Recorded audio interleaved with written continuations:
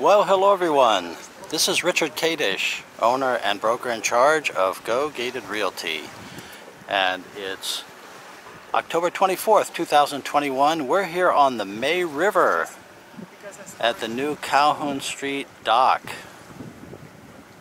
And we're actually here to attend the 17th annual historic Arts and Seafood Festival, which you're going to see is all along Calhoun Street with over 100 displaying artists from over 10 different states. But before we take a closer look at the festival, I thought you might like to see some of the sights down here at the May River. And here at the end of Calhoun Street, next to the dock, is the new Town of Bluffton Wright Family Park.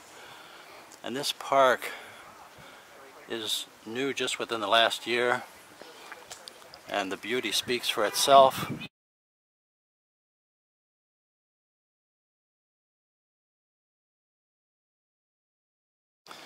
And across from the Wright Family Park is the Church of the Cross right on the May River, one of the few buildings in Bluffton that was not burned to the ground by the Union in 1863, the uh, Union Army came across from Hilton Head Island where they were stationed as part of the Norris Anaconda Plan to stranglehold the South, southern ports. And the Confederates had been raiding the island from Bluffton, so the Union got tired of it. They came over, came down to Brighton Beach and marched up that way, came right down to the dock here at May River, and proceeded to burn most of Bluffton down. The reason that this church was spared is because they were concerned that the embers would drift over onto their boat and burn their boats. And the history of that expedition and much more about Bluffton and Hilton Head Island during the Civil War is told by Jeff Fulgham in his outstanding book called The Bluffton Expedition. I definitely recommend it. One of the best history books I've read by the former president of our historical society here in Bluffton and a real life soldier in Afghanistan, Jeff Fulgham, F-U-L-G-H-A-M. And the artist of this oyster shell is Laurie Parker and it's called The World is Your Oyster. But every festival has a poster, and the posters that go back as long as I remember are from artist Amiri Farris, and that's him there in the blue shirt. And this is Michael Jasinski from Gainesville, Florida, and he does photography. And you say these are Florida scenes? A lot of Florida sunrises, uh, sunsets from Key West up to Pensacola. I like to specialize in the Florida beaches. You know, though, a lot of these scenes, like this one behind you, this could be a Hilton Head Island beach. Uh, it could be. Um, it's from Pensacola, but I like to say it's any beach. Um, any beach. That's the nice thing about a lot of these beaches. They could be Florida, Lake Michigan, South Carolina, North Carolina. Come in a lot of sizes too. Yeah, I offer uh, at the shows uh, six feet down to uh, eight by 12 inches. Um, the bigger ones hang nicely over couches. The smaller ones uh, work nicely in bathrooms, offices. What kind of a camera do you use? Uh, Nikon D800. Okay. Well, I hope you had a good festival. It's been excellent, sir. Thank Thanks you. very much for talking. Thank you. Thank you. And this artist is from North Carolina. Hi, what do you call this kind of... This is wood turning. Wood turning? Yes. And you are the uh, artist, aren't you? I'm the artist, Nathan Favors. Nathan, how long does it take to make a bowl like some of these? On the average, one year. One year? Yes. That's amazing. Is this your first uh, festival? This is my first one here. Yes, it is. And this is Michelle Blank from Mount Pleasant, South Carolina. who obviously does stained glass. This isn't so fragile, but there are some sharp edges on it. So how long have you been doing stained glass? A little over 45 years. 45 years. It looks like you've pretty much perfected things. I have my good days, but I also have my bad days, and that's when I do these. What kind of, uh, looks like you draw your inspiration from nature. I do. From, it looks and like you do a lot of animals and dreams. Yeah, I'll Does wake that- up in the middle of the night and I'll scribble something down on my notepad next to my bed. Get up in the morning and be surprised. How long does it take to produce a stained glass panel like what we see here? This one right here is 50 hours. I just finished it Thursday night, and I already had the hair and beveled. So that's how long it takes. It's very labor intensive. Do you get, um, are these for people to mostly hang in a window, Anywhere but on a wall is my. anywhere but on a wall where the, it needs the light to come You through? want some light to come through. Now you can hang it like if you have a half wall into a foyer or a half wall in a bathroom or a cut through between a kitchen and dining room. Hang it there. You can put it in front door, side lights, transom, anywhere but directly on a wall. You come here every year, don't you? I do. Of course, we've missed a couple years now. Right. Well, last year was the pandemic, and the year before we had Hurricane Dorian come through. Yes, yes. Well, thanks for talking. Sure thing. I really Come and see us at Honey Horn.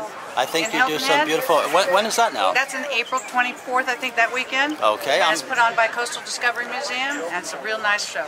Well, thank you very much for that. Thank you. And this is HK Steel Art. That stands for Haley King. She's from right here in Bluffton, South Carolina. And this is Haley, the artist. Haley, how long does it take to produce one of these pieces? So I do everything in stages. So I get big sheets of steel, draw everything out, then cut everything out, then do all my grinding and torching. So it's a whole process. So I couldn't tell you exactly how long. A long time? A long time. Well, how did you get started in this? um, my father taught me. He has a shop and he builds equipment for a living and he taught me how to weld and plasma cut. And you sell from different galleries here in Bluffton, don't I you? I do, I do. I sell in Bluffton General, Al Harry Furniture, um, Graco on Hilton Head. Are most of these wall hangings? Most of them are. I have a lot of standing pieces, but yesterday was really busy, so I got wiped out. Standing pieces like the flag and Yes, like these two that are there. the, and the um, The seahorse. kind of like sculptures, Yeah. but uh, they're not so much sculpted as they are, I guess, cut and Flat Stanleys, if you I'm will. sorry? Like flat Stanleys. flat Stanleys. Yeah.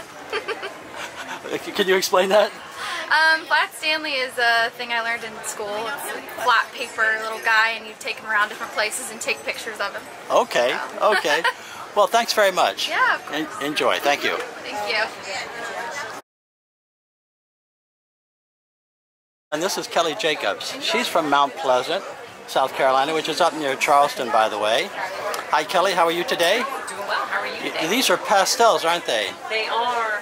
And you know, these are different than a lot of the pastels that I see. They have a combination of real high realism, but with um, uh, a lot more color than we might see by the eye. Have, have you have you have you intentionally done that to create the impression that you want to give?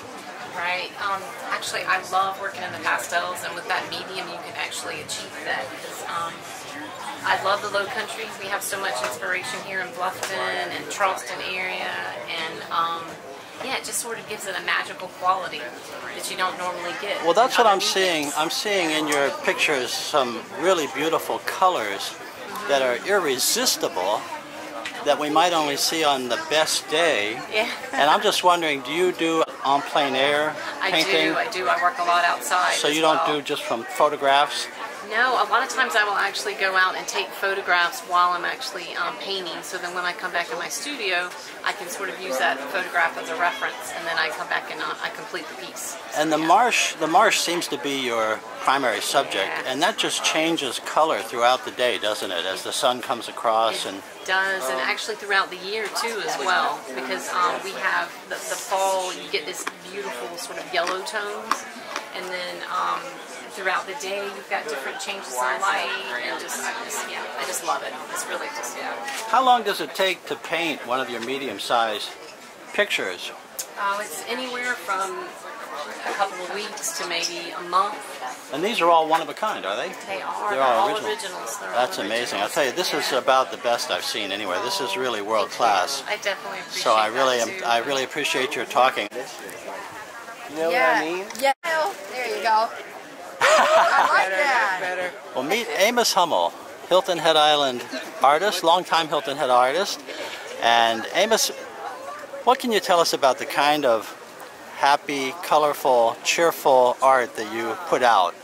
Well, lesson number one is if you can't if you can't dazzle them with brilliance, blind them with color. So I started there, and then of course the low country scenes and our fish, and it's been success ever since.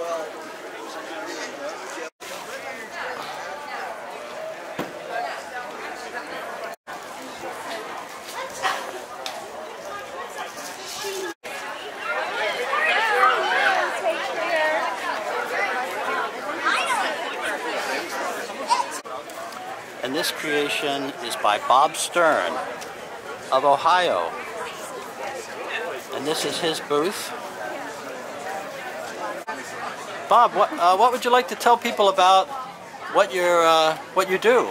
Well, these are all created from upcycled antiques that are 100 to 150 years old. They're all one of a kind, and uh, they're just wonderful, whimsical works of art.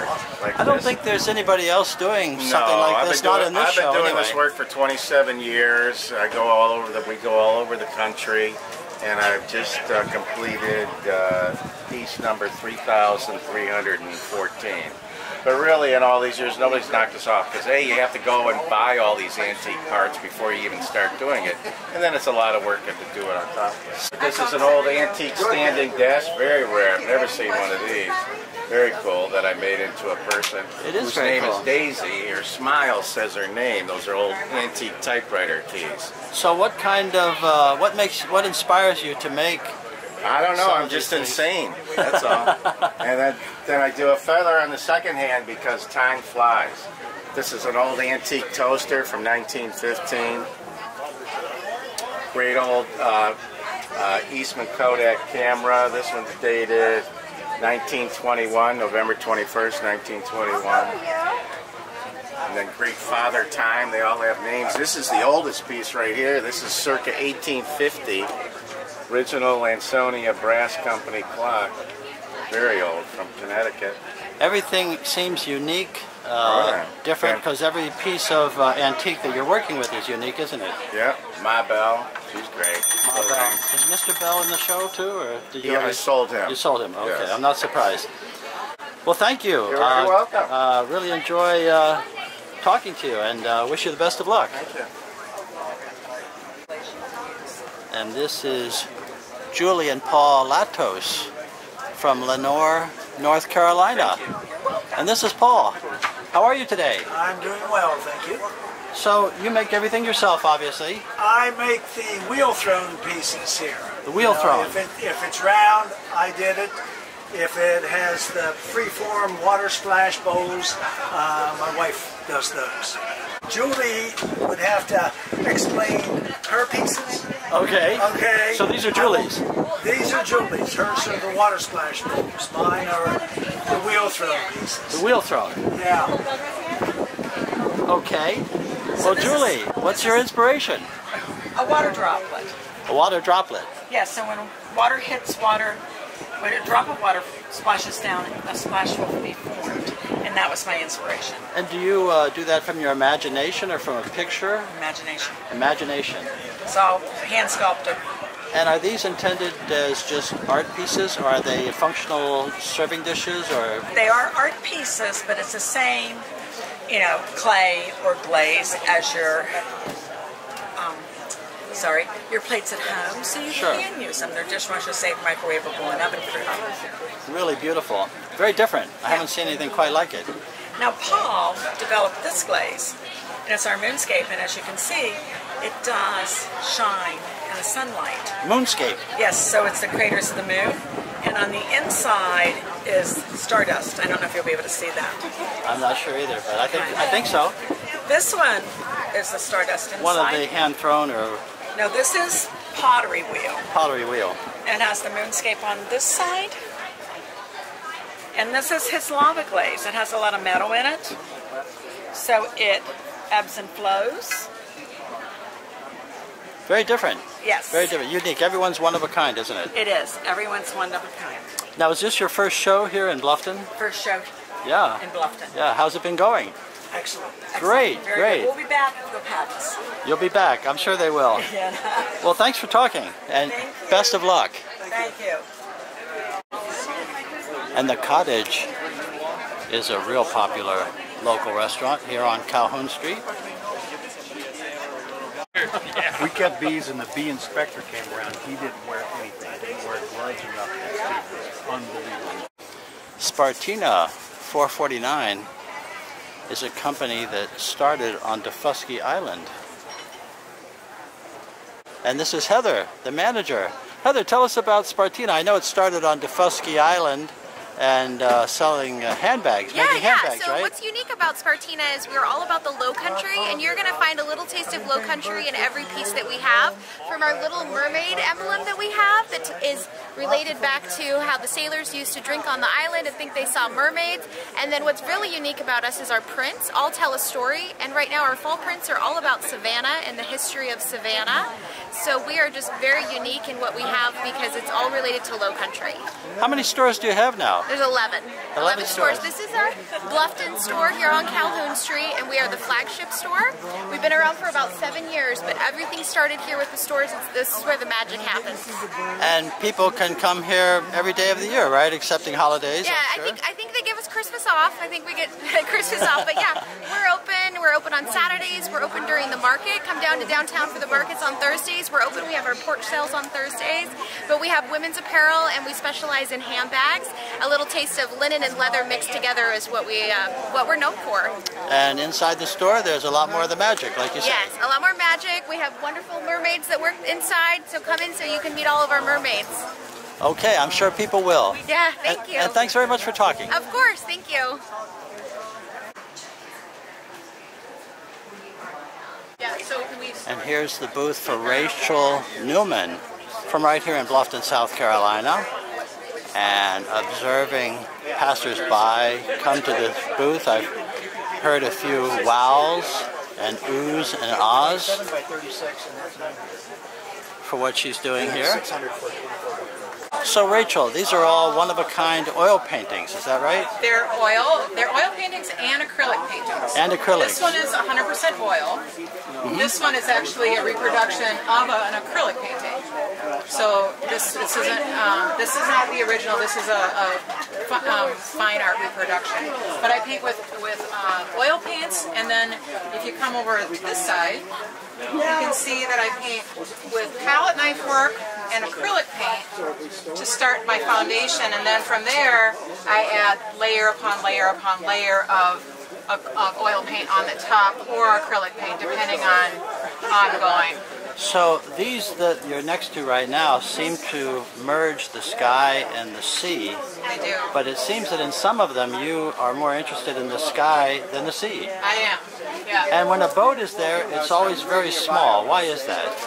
Um, I one of the things that I want to capture in my paintings is the aspect of solitude, and so when um, when we it, the smaller boats allow people to kind of become immersed in the paintings. And if you come around to the other side here, Oh, okay. Get a really good um, impression of that. So here you can kind of drift drift into the painting, where here this one is just it's soft, and people think about what's behind the mist and the fog. And so when I'm painting something like this, which is an oil painting, I'm always looking for what do you, as the viewer, think about what's behind here. It's kind of dreamy. People tell me stories about what they see behind there, what that means to them. Kind of abstract. It's it's somewhat abstract. It's definitely But it's clearly water. it's water. And the, sky. And the name of that painting is in fact water. And I do a lot with, you know, obscure horizon lines, like some of them. Uh, there was one that we, we looked at. First, it had a, a full horizon line. So there's obscure horizon lines, no horizon line, a solid horizon line, boats, no boats, you know, or things like that. And they're all, but they're all intended to draw people in, you know, kind of to get a little bit of relief from Very restful. day-to-day world. Very restful, Right. very soothing and colorful. You're welcome. Congratulations. So I really like the, the red, the red in the boats. Um, I frequently paint red boats or white boats. I like to do contrasting colors. So actually behind that red boat is the complementary color of green, which I did as a wash underneath it. So I do many layers so that you get the depth because with this type of minimalism, you have to have many layers in order to really being able to to float into the painting, so to speak. You, you have the kind of paintings that could hang, I think, most in every, every house, whether it's traditional or contemporary. It's true. And the colors look like they're very popular. They're they're well. We live in we live in the Low Country, and I you know I live here. I do I do um, art shows all over the country, and everybody sees their own body of water in them. So with the Great Lakes, they see the Great Lakes. If it's you know in Interesting. someplace in the Midwest, it's whatever the large body of water or a memory of a vacation or something like that. Um, I really enjoy people being able to put their own see what they see in the paintings. Now, did I see that you also do giclées, or do you do any kind of posters or something more economical for for some people? I do. Let's go back over to the other side here. All right. This this is a giclée, and so the, a giclée is a the word giclée is a French word that means to spray, and they're referring to the millions of droplets of ink that are used to replicate the original. So I take the original painting, which looks almost identical to this, except for there was texture on the boat, and I bring it to a museum quality photographer or scanning you know company that scans it. They take a very large, um, they, they take a really high quality photograph of it and then they produce a digital image which is then uh, color corrected to their printing equipment. So they do approve. then I come and approve the proof. Sometimes it's very simple, sometimes it takes hours and hours and 30 or 40 or more proofs.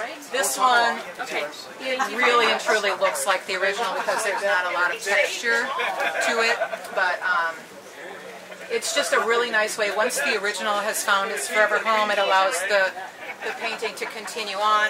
It allows you to get a different price point and to also change the sizes. Well, it's real pretty, and thanks very much for talking. You're so welcome.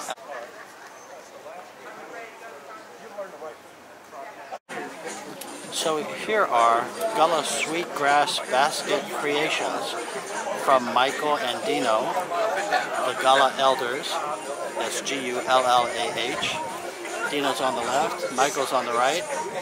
These sweet basket creations have become more popular year after year, and they're very work intensive. Take a lot of time to create. Dino, how long does it take to make a typical The basket? average piece takes from three to four days. Three to four days. And we work for six to eight hours a day. Six to eight hours a day. Yes, sir. Well, they've got some. You've got some beautiful ones here. Yes, sir. You're welcome. So you, so you in the fifth grade now? Um, so maybe next year you might see us again. And on Calhoun and Church Street, on the corner here is the home of SOBA, Society of Bluffton Artists. And for the festival, they're out on the sidewalk. yeah, right. And this is Jody Rankin's booth from Dawsonville, Georgia. So Jody, these are acrylics. What can you tell us about them? Yeah, th these are uh, a new series I started doing with large scale canvas on the gallery wrap. Um, of course, my, my technique, I use a lot of water and brushing to create the backgrounds, but these are my ornate rays here. And I have a striped marlin piece here, and you see some of the some I'm gonna add a little dust and metallics to give it a little flicker if you in the light. I'm originally from here, up in Charleston, Allendale area. I see. Um, just did a slight relocation. Hope to be back this way. These are awfully big. Do you uh, find people are more interested in the small, medium, or large products? It's a mix. Uh, you know, you find people that have nowadays you have vaulted ceilings and big open areas where they have wall space for something like this. So they need a big and- piece. and, they'd rather have a large piece than a match of smaller pieces. So it works out well. And I, I love creating big things. So. And so these are fish rubbings. Yeah, this is my other and the uh, series I work with, which are original fish rubbings. Can Um, you take- can you tell the viewer what is a fish rubbing? Yeah, well, you actually take almost an impression, or you do take an impression from a real fish. Um, there's some technique involved, um, but uh, you can use either a cotton swab or your hand, and the ideal is to paint the fish, um, and then you use it as a reverse canvas. You lay your paper or pulp on top of it, um, and then slightly press the uh, paper pulp onto the fish and a light touch and you press into the scales.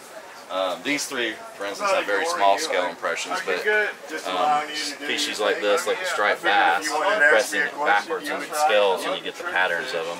Um, then you get the fin impressions, and of course anything you see eyes, circular, we put those in afterwards because it's during the light touch they kind of blend in with the other colors. So how's business? It's good, good. It's always great.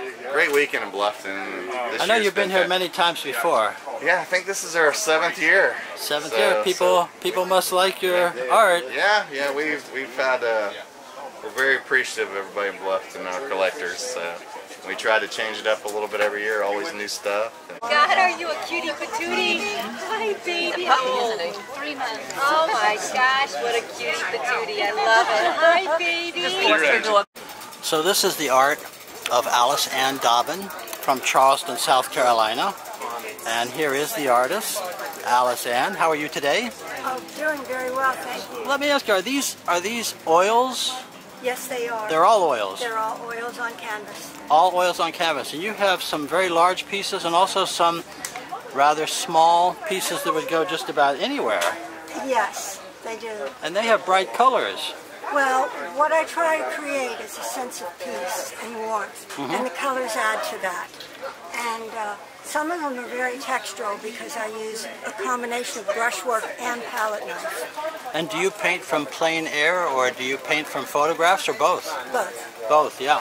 When you're painting the birds, you almost need to use a photograph. You you like you like uh, the ocean, the beaches, Oh, yes. boats, and birds. And I'm not sure if it's in that order or not, but um, No, very colorful. passion. Birds are your passion. See you later. Make good decisions. I think that passion comes out in many of these paintings. Yeah.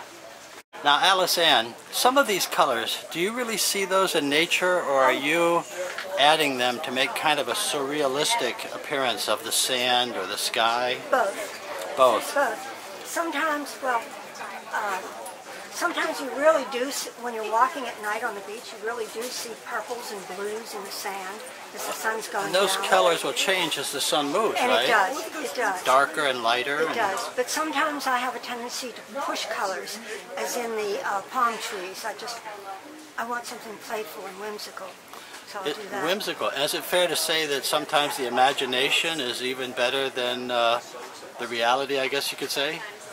Sometimes. Sometimes? But you gotta be, be based in nature. You have to be based in nature and you have to have the abil- ability and the experience to make it happen. Yes. Okay. Great. Experience is really important. It takes time to become an artist, doesn't it?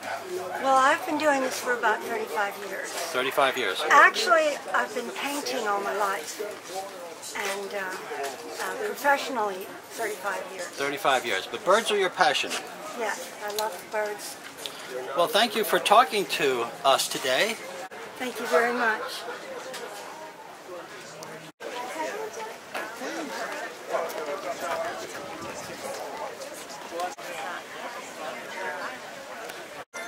And here is Gerardo from Mount Pleasant, South Carolina, with mixed media.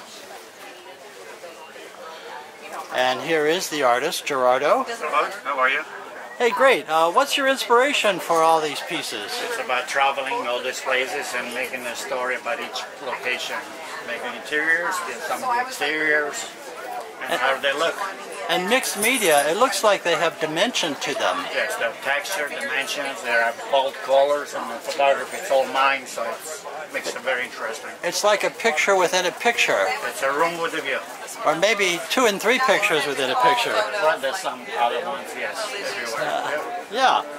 How long does it take to make a picture like About a week. About a week to put one together. Very fun. cheerful. That's the fun part. They're very cheerful. Thank you. And a lot of people connect because we've been to those places also.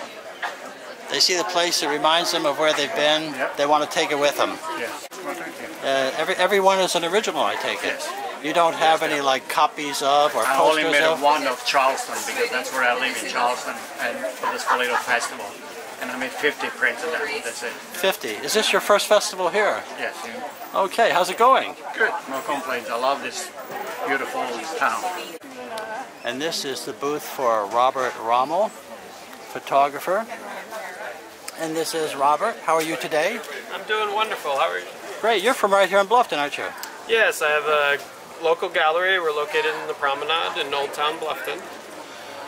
Let me just scan around here and take a look at some of these. Maybe you could tell us a thing or two about them. Yeah, these are triptychs when they're printed in three pieces like this. Um, it kind of gives a, a more graphic feel to the images. It looks like those could be sold individually, but are they all sold together always? The triptychs are as a single piece. Um, you can you don't need to have it printed as a triptych. You can have it printed as, as a single canvas. A lot of these are pretty clearly uh, low country South Carolina roadways or, yeah, or scenes. Uh, these landscapes um, are either all from the low country or, or the same sorts of things you would see in the low country. Um, different islands, different beaches. These are photographs. Photographs, Yeah, excuse they're me. printed onto canvas or metal or paper, or the three mediums. But you know, they look like paintings, but they're photographs. Yeah, my style is very painterly, plus the canvas has a, a soft, gentle look to it as well. Well, thank you very much for talking with us. Thank you. And also the festival features lots of food.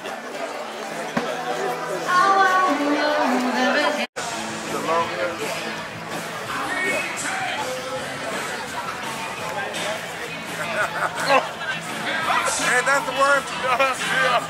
That's the one kid you with That's the artist? No.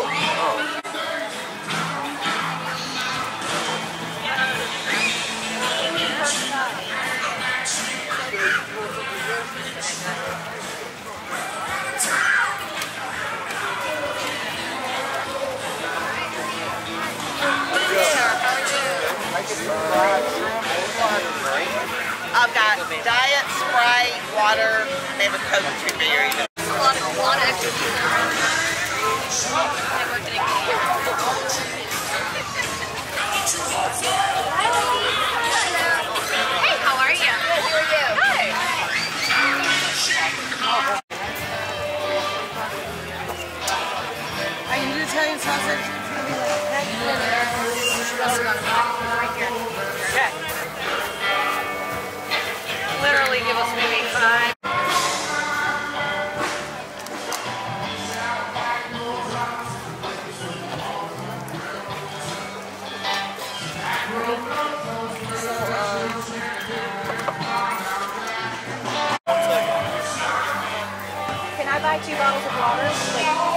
where'd Nani and Papa go?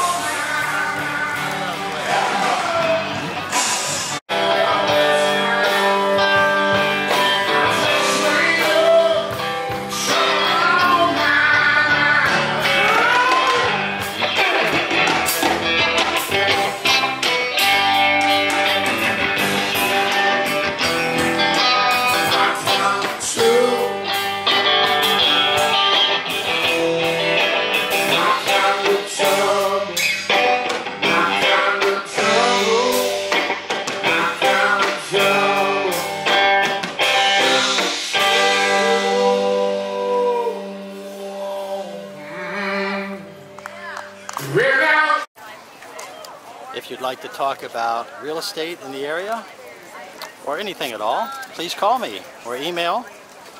My phone number is 843 684 2933.